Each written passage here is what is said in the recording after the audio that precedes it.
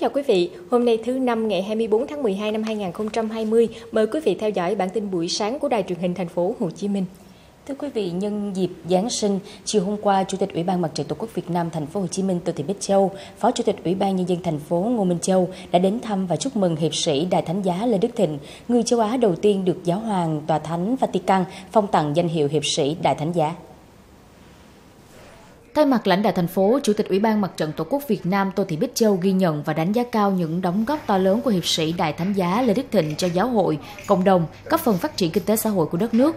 Chúc hiệp sĩ Đại Thánh giá Lê Đức Thịnh cùng gia đình có một mùa Giáng sinh an lành. Chủ tịch Ủy ban Mặt trận Tổ quốc Việt Nam Tô Thị Bích Châu mong muốn hiệp sĩ cùng đồng bào công giáo tiếp tục phát huy truyền thống yêu nước, cùng chung tay xây dựng thành phố ngày càng phát triển. Cảm ơn sự quan tâm của lãnh đạo thành phố. Là một người công giáo kính Chúa yêu nước, hiệp sĩ Đại Thánh giá Lê Đức Thịnh khẳng định luôn thực hiện tốt các chủ trương, chính sách của Đảng và Nhà nước, tiếp tục đồng hành với sự phát triển đi lên của thành phố Hồ Chí Minh nói riêng và cả nước nói chung.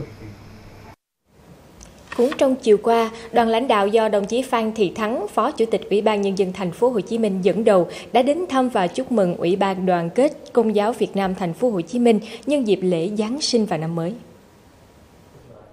Phó Chủ tịch Ủy ban Nhân dân thành phố Phan Thị Thắng ghi nhận và đánh giá cao kết quả hoạt động của Ủy ban Đoàn kết Công giáo Việt Nam thành phố Hồ Chí Minh trong thời gian qua. Đặc biệt, đồng bào công giáo đã cùng đảng bộ chính quyền thành phố phòng chống hiệu quả dịch bệnh COVID-19 lãnh đạo thành phố tin tưởng Ủy ban Đoàn kết Công giáo Việt Nam thành phố Hồ Chí Minh sẽ tiếp tục làm tốt vai trò là cầu nối giữa chính quyền và giáo dân với đường hướng đồng hành cùng dân tộc, tích cực tham gia các phong trào do chính quyền, mặt trận Tổ quốc Việt Nam phát động, các phần xây dựng khối đại đoàn kết dân tộc. Nhân dịp lễ Giáng sinh 2020 và đón năm mới 2021, Phó Chủ tịch Ủy ban nhân dân thành phố Phan Thị Thắng kính chúc đồng bào giáo dân Giáng sinh an lành hạnh phúc, cùng chung tay góp sức cho thành phố Hồ Chí Minh bình yên và phát triển. Thưa quý vị, hiện nay trên thế giới xuất hiện biến chủng của virus SARS-CoV-2 tăng tốc độ lây truyền lên tới 70% là điều rất đáng lo ngại. Đòi hỏi Việt Nam càng phải nghiêm túc triệt để thực hiện các biện pháp phòng chống dịch. Đây là chỉ đạo quyết liệt của Bộ trưởng Bộ Y tế Nguyễn Thanh Long tại hội nghị trực tuyến diễn ra vào hôm qua. Bộ Y tế chỉ đạo các viện, cơ sở y tế tăng cường việc giải trình tự gen các mẫu bệnh phẩm, nhất là ở khu vực châu Âu và ở những nước có biến chủng này để đánh giá khả năng lây truyền và khả năng xâm nhập vào Việt Nam. Bộ Y tế quyết định từ hôm nay đến cuối năm sẽ là đợt cao điểm đẩy mạnh hoạt động phòng chống COVID-19 để đảm bảo người dân được hưởng dịp nghỉ Tết Nguyên đán an toàn. Trong bối cảnh dịch COVID-19 có thể xâm nhập bất cứ lúc nào, các địa phương phải chuẩn bị cho các tình huống xấu có thể xảy ra, phải tăng cường chuẩn bị tập huấn cho nhân viên y tế, lên kế hoạch đảm bảo cơ sở điều trị trong trường hợp có COVID-19. Về sản xuất vaccine phòng dịch COVID-19, Việt Nam đã chính thức có vaccine Nanocovax của công ty Nanogen. Các tình nguyện viên tiêm thử nghiệm ở giai đoạn 1 vaccine này sức khỏe ổn định, an toàn và vẫn đang được theo dõi chặt chẽ. Việt Nam còn 3 đơn vị đang nghiên cứu và phát triển vaccine phòng COVID-19 là Vabiotech, Ivac, Polivax. Dự kiến ngày 1 tháng 3 năm 2021, Ivac và Vabiotech sẽ tiến hành thử nghiệm vaccine trên người. Theo Bộ Y tế, ngoài việc hướng tới tìm kiếm và chủ động nguồn vaccine phòng bệnh, kể cả trong bối cảnh đã có vaccine, biện pháp quan trọng nhất để khống chế dịch COVID-19 vẫn là triển khai quyết liệt các biện pháp phòng chống dịch. Mỗi người dân cần tiếp tục thực hiện tốt thông điệp 5K.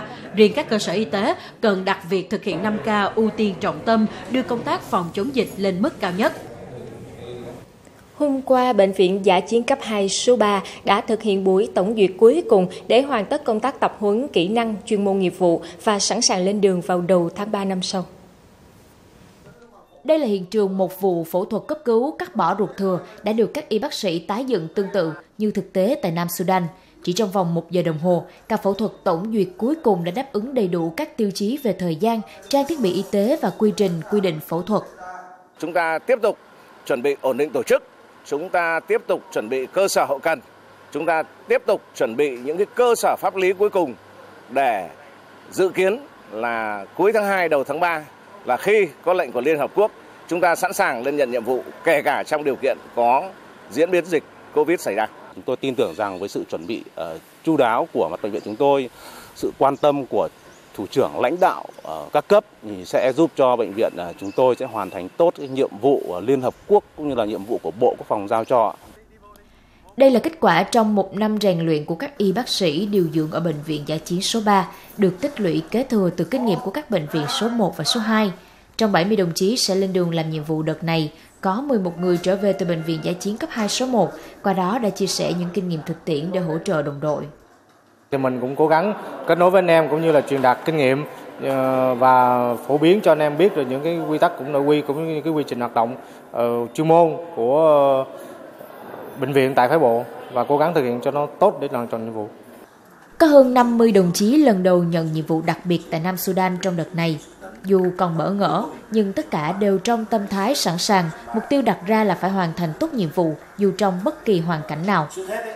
Tôi nhận thức được cái việc đi gìn giữ hòa bình ở Nam Sudan là một nhiệm vụ cao cả, là cái thể hiện cái hình ảnh tốt đẹp của người lính bộ đội cụ Hồ.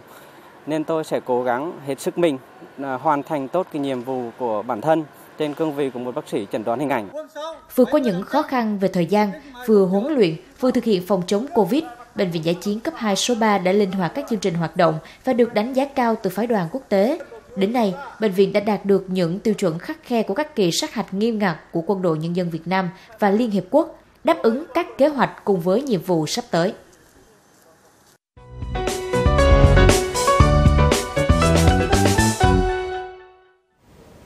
Mời quý vị theo dõi chuyên mục điểm báo.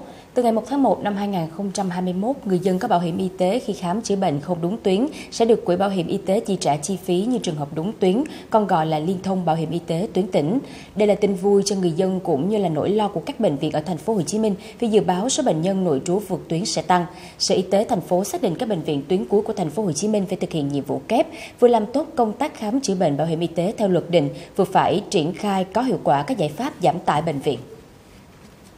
Hàng loạt mặt hàng xuất khẩu của Việt Nam đang chịu thiệt hại nặng nề khi có đơn hàng nhiều nhưng không thể xuất khẩu vì khan hiếm container rỗng để đóng hàng. Trung tâm Dịch vụ Logistics Tân Cảng cho biết nguyên nhân chính là do sự bùng phát của đại dịch COVID-19. Ngoài ra còn do ảnh hưởng của bão, sương mù nên khó xuất khẩu hàng qua các nước. Nhà sản xuất nhà xuất khẩu đề nghị cần tăng cường sử dụng cơ sở mới, đồng thời ở vùng nào thì chủ động lấy container vùng đó để tránh tình trạng ùn tắc và thiếu hụt khi chỉ tập trung vào một chỗ. Hội đồng nhân dân thành phố Hồ Chí Minh đã thông qua chủ trương hủy bỏ 61 dự án quá thời hạn thực hiện, thường được gọi là dự án treo. Người dân cư ngụ lâu nay trong các dự án treo nay được giải phóng đang nóng lòng chờ được trả lại quyền và lợi ích hợp pháp về nhà đất để có thể sửa chữa xây dựng nhà hoặc giao dịch mua bán. Tuy nhiên có trường hợp người dân liên hệ chính quyền để làm thủ tục thì được trả lời là chờ chỉ đạo.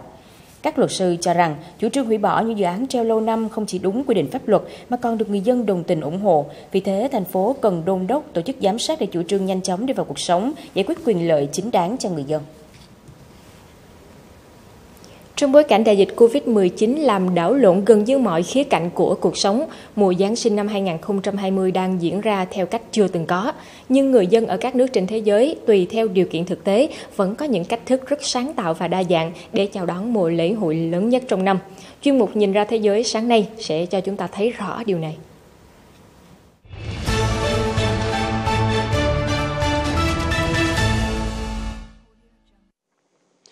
Thưa quý vị, dịch Covid-19 đang có những diễn biến phức tạp như tốc độ lây lan tăng, xuất hiện chủng virus biến thể, khiến nhiều nước trên thế giới tái áp đặt lệnh phong tỏa nghiêm ngặt ngay trước mùa Giáng sinh và năm mới. Nhưng đây vốn là thời điểm của sum dày vui vẻ, của những hy vọng tốt đẹp. Nên ở nhiều nơi, bằng nhiều cách, người ta vẫn cố giữ không khí và tinh thần Giáng sinh. Hãy xem các địa điểm Giáng sinh tiêu biểu có gì thay đổi trong năm nay.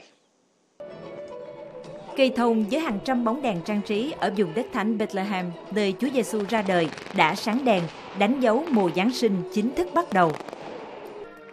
Tòa Thánh Vatican hé lộ cảnh Chúa Giáng sinh với những bức tượng gốm có kích cỡ như người thật, khắc họa các nhân vật, trong đó có Đức Mẹ Maria, Chúa Giêsu và Thánh Giuse. Một cây thông Giáng sinh cao 28 mét cũng được thắp sáng rực rỡ. Trung tâm thương mại Rockefeller ở New York, Mỹ đại lộ mua sắm xa hoa bậc nhất ở Paris, nước Pháp. Cho tới quảng trường lớn ở thủ đô Moscow của Nga cũng đã được thắp sáng. Từ quảng trường đại lộ cho đến những góc phố nhỏ, tất cả đều được trang hoàng ánh đèn lộng lẫy. Ánh sáng mang lại niềm hy vọng và lạc quan cho người dân trong mùa dịch ảm đạm. Năm nay, các khu chợ Giáng sinh không được tổ chức, nhưng chính quyền của nhiều địa phương dựa trên tình hình dẫn dựng các khu vực nhỏ, các hội chợ có thể lái xe hơi vào tận nơi để tạo không khí Giáng sinh cho người dân. Còn tại Đài Loan, Trung Quốc và Estonia, những nơi hiếm hoi trên thế giới không áp dụng lệnh phong tỏa trong kỳ nghỉ lễ này. Người dân rủ nhau chiêm ngưỡng lễ hội đèn lồng chào đón năm mới. Những chiếc đèn lồng khổng lồ cùng hàng triệu bóng đèn được bật sáng đã tạo nên khung cảnh lung linh ấm áp trong thời tiết giá lạnh. Lễ đón giao thừa ở quảng trường thời đại, thành phố New York của Mỹ là một trong những lễ hội lớn nhất trên thế giới. Năm nay, lễ thả quả cầu pha lê vẫn được tổ chức nhưng được phát trực tuyến để đảm bảo an toàn phòng dịch. Vào ngày 22 tháng 12 qua, bản số 2021 khổng lồ đã được chuyển đến. Các khâu lắp đặt cuối cùng đang được hoàn tất. Thay vì những bữa tiệc rộn ràng hay khu chợ Giáng sinh hoành tráng, năm nay người dân các nước ưu tiên đón Giáng sinh tại nhà một cách ấm áp và an toàn. Và trẻ em không phải là những đối tượng duy nhất cần sự vui vẻ. Thị trường vật phẩm quà tặng Noel năm nay cũng ăn theo xu hướng, giới thiệu các món đồ chơi nhắm vào khách hàng trưởng thành. Đây là đất nặng Flydo. Món quà có thể giúp cho các cuộc họp trực tuyến bớt phần tẻ nhạt. Mùi hương dĩ nhiên cũng rất trưởng thành. Mùi cà phê sữa, mùi cỏ mới cắt hay thịt sông khói. Khi cả thế giới đang cùng nhau giết thời gian, thì trò chơi Lego và xếp hình truyền thống có vẻ như đang đảm nhận vai trò giải cứu thế giới. Doanh số của món đồ chơi này đã tăng giọt và đặc biệt thu hút cả thế hệ millennials. Với trẻ em, quà tặng được ưa thích là các nhân vật hoạt hình nổi tiếng, các ngôi sao YouTube, với phụ kiện không thể thiếu là chiếc khẩu trang ấn tượng. Thậm chí, công ty đồ chơi Vitech còn đưa ra chiếc máy ảnh Kitty Zoom có phông xanh để trẻ em có thể nhập vai người nổi tiếng. Nếu chưa tìm ra món quà ưng ý, thì một cửa hàng ở Tây Ban Nha với hơn 600 mẫu khẩu trang chắc chắn sẽ làm bạn vừa lòng.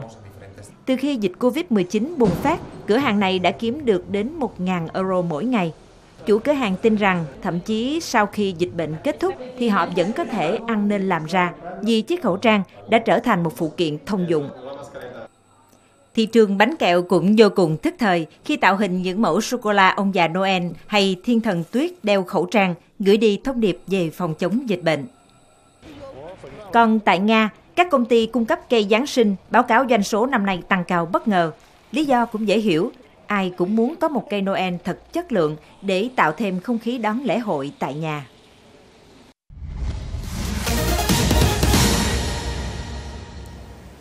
Hai tập đoàn dược phẩm Pfizer và Moderna cho biết họ đều đang thử nghiệm vaccine ngừa COVID-19 của mình để xem có hiệu quả với biến thể mới của virus SARS-CoV-2 được phát hiện ở Anh và một số nơi khác hay không. Hãng Pfizer cho biết đang thu thập dữ liệu từ mẫu máu của những người đã được miễn dịch, tức đã hình thành kháng thể, từ đó đánh giá xem liệu những kháng thể này có thể vô hiệu hóa biến thể mới hay không. Câu đại diện của Moderna nói rằng họ dự kiến loại vaccine của mình vẫn bảo vệ người được tiêm khỏi các biến thể mới của virus ở Anh. Tuy nhiên, hãng này sẽ làm các thí nghiệm bổ sung trong vài tuần tới. Theo Trung tâm Kiểm soát và Phòng ngừa Dịch bệnh Mỹ CDC, chưa ghi nhận trường hợp nhiễm biến thể mới của SARS-CoV-2 tại nước này, nhưng không loại trừ khả năng nó đã tồn tại mà chưa được phát hiện do giao thông đi lại giữa hai nước. Trong khi đó, trang tin của BBC đưa vaccine của Đại học Oxford và hãng dược AstraZeneca phối hợp nghiên cứu có thể được giới chức y tế Anh cấp phép sớm ngay sau Giáng sinh. Cơ quan quản lý dược phẩm và sức khỏe của Anh MHRA đã nhận được hàng chục mẫu dữ liệu về vaccine này và đang tiến hành đánh giá. Chính phủ Anh đã đặt hàng 100 triệu liều vaccine của Oxford và AstraZeneca, trong đó khoảng 40 triệu liều sẽ được sẵn sàng trước cuối tháng 3 năm sau.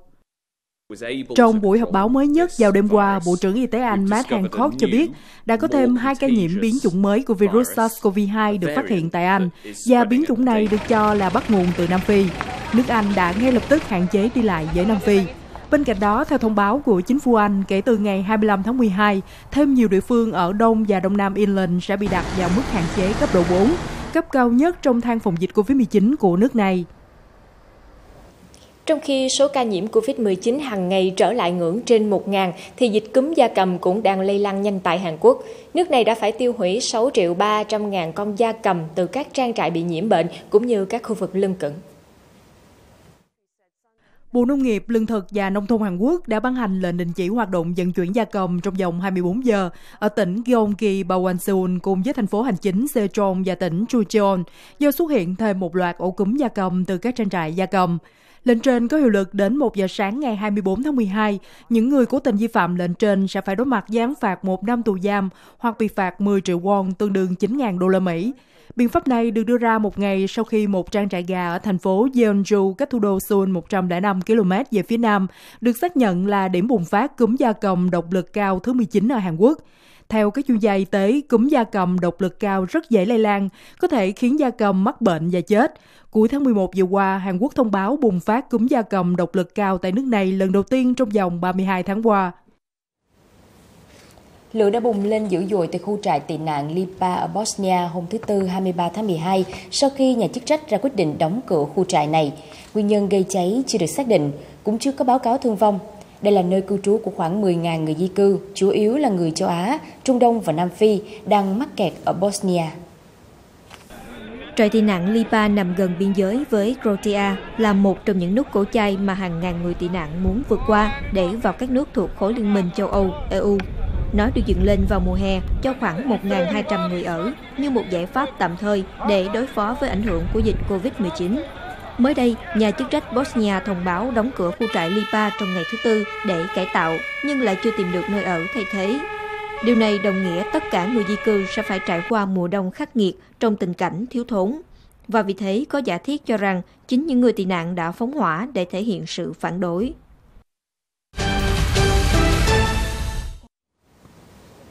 Trở lại với những thông tin trong nước, quận Phú Nhuận vừa được Ủy ban nhân dân thành phố Hồ Chí Minh công nhận là quận đã hoàn thành mục tiêu không còn hộ nghèo theo chuẩn nghèo thành phố giai đoạn 2019-2020.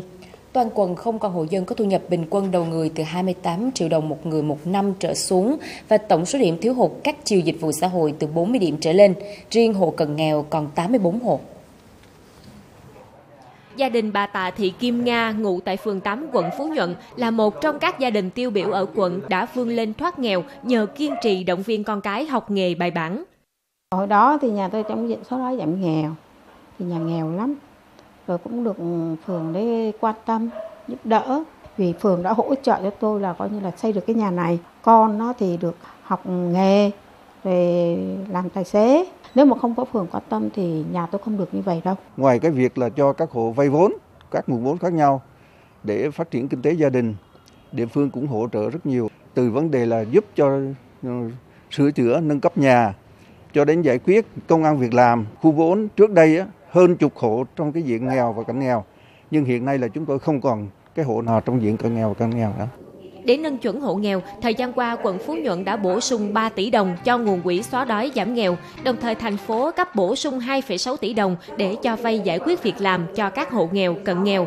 Thông qua cuộc đi bộ đồng hành vì người nghèo hàng năm, quận huy động hơn 16 tỷ đồng từ nguồn lực trong xã hội để đẩy mạnh công tác chăm lo hộ khó khăn.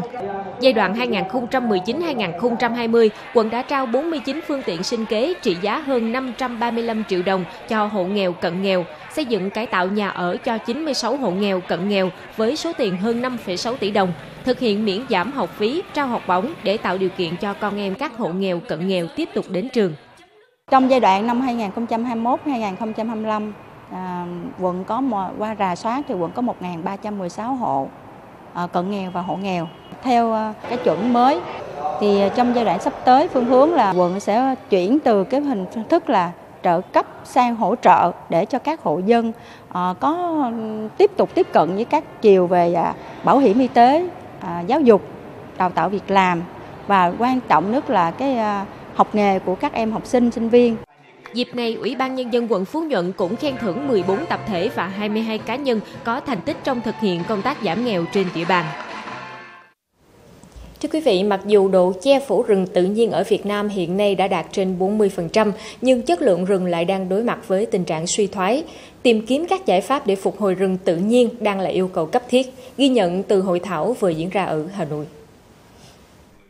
Các đại biểu cho rằng nếu nhìn theo tiêu chí về diện tích và độ che phủ, dường như Việt Nam đã gần phục hồi được rừng vào thời điểm năm 1943 khi chúng ta có những số liệu đầu tiên về rừng. Tuy nhiên, điểm khác biệt ở đây là chất lượng rừng. Rừng chúng ta tăng lên nhưng mà đây cái cái tăng này là phần nhiều do cái rừng trồng đem lại. Nhưng thực chất cái rừng tự nhiên là cái nơi có giá trị tăng dạng sinh học cao, nơi cung cấp hệ sinh thái quan trọng thì lại đang suy giảm. Ngay cả suy giảm về số lượng như về chất lượng trong rừng Biến đổi khí hậu cũng là một trong những nguyên nhân. Hai nữa là chúng ta chuyển đổi ví dụ như các cái diện tích nông nghiệp mới và đất sinh hoạt thì nó cũng là cái, cái, cái một trong những cái áp lực dẫn đến việc suy giảm rừng. Cái chất lượng rừng tự nhiên giảm cho nên là những cái chức năng phòng hộ của rừng ví dụ như là cái chức năng mà điều hòa điều tiết nước hay là chức năng giảm cái lũ lụt trong mùa mưa lũ thì hiện nay nó nó đã rất là yếu rồi cái um, cái lũ lụt miền Trung thì chúng ta có thể thấy rõ cái điều này. Cái thách thức lớn nhất trong cái giai đoạn tiếp theo của Việt Nam ấy không phải là tiếp tục tăng cái độ che phủ rừng nữa mà làm thế nào để phục hồi được cái chất lượng rừng tự nhiên để đảm bảo những cái khả năng phòng hộ môi trường của rừng. Trước thách thức này, nhiều đại biểu cho rằng đầu tư tư nhân cho bảo tồn và phát triển rừng ở Việt Nam là một giải pháp quan trọng. Tuy nhiên, cần phải có sự hợp tác đa bên nhằm đảm bảo khối tư nhân vẫn có lợi nhuận từ hoạt động kinh doanh, nhưng rừng vẫn được bảo vệ tốt. Hiện nay thì ngân sách nhà nước ngày càng eo hẹp thì một cái phương hướng mới trong giai đoạn tới là chúng ta có thể đa dạng hóa tài chính à, thông qua cái việc mà thu hút cái sự tham gia của khối tư nhân vào cái bảo vệ phát triển rừng. Cái cơ chế giám sát thì quan trọng nhất là phải minh bạch, đồng nghĩa là phải có nhiều bên tham gia. À, không chỉ có phía nhà nước, các cơ quan kiểm lâm mà còn có từ phía chủ rừng, từ phía doanh nghiệp, các tổ chức độc lập ví dụ như các cơ quan nghiên cứu các tổ chức phi chính phủ hoặc là các tổ chức phi lợi nhuận thì họ họ là những cái bên mà giám sát để cho cái tiến trình này nó tiến nó diễn ra một cách minh bạch và công bằng.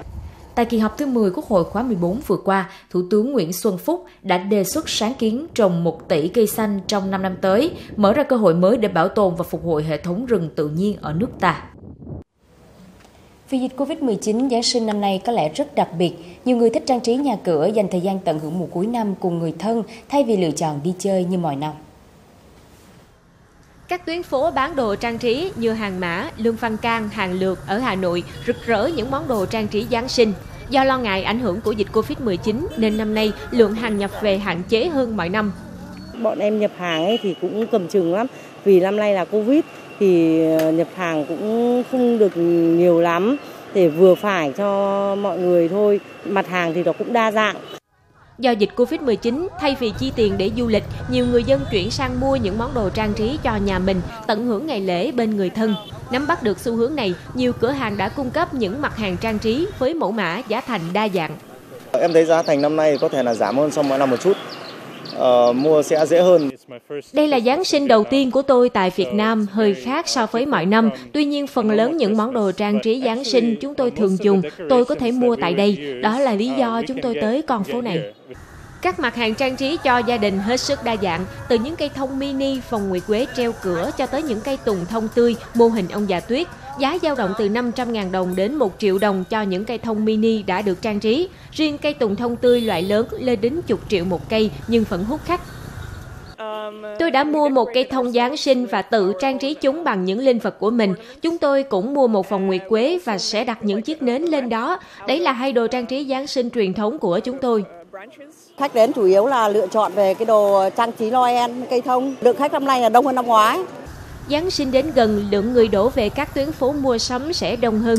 Thực hiện các biện pháp phòng chống dịch Covid-19 là điều cần thiết để có một mùa Giáng sinh an toàn, vui vẻ và ấm áp.